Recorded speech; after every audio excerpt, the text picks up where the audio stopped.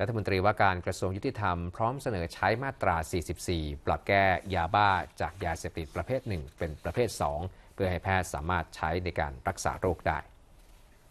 พลเอกไปบุญคุ้มฉายารัฐมนตรีว่าการกระทรวงยุติธรรมเป็นประธานเปิดการประชุมเชิงปฏิบัติการเรื่องบูรณาการควบคุมเมทแอมเฟตามินอย่างสร้างสรรค์ และนวัตกรรมยุติธรรมตามร่างประมวลกฎหมายยาเสพติด มีบุคลากรด้านสาธารณสุข ระดมความคิดเห็นสร้างมุมมองใหม่ต่อการแก้ปัญหายาเสพติด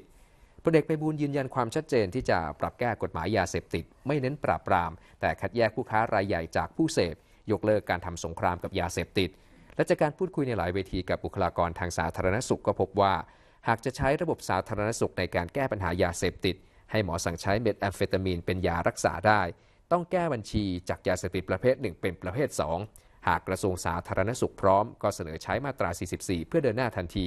แต่ถ้าระบบของสาธารณสุขยังไม่รองรับ ก็ให้รอการแก้ยาเสพติดของตามกฎหมายตามปกติไปก่อน พร้อมกับมีแนวคิดที่จะพิจารณายกเลิกสินบนนำจับ เพราะว่าเป็นอำนาจหน้าที่ปกติ ที่เจ้าหน้าที่ต้องปราบปรามอยู่แล้ว การให้สินบนนำจับนั้นเป็นการทุ่มงบประมาณสิ้นเปลือง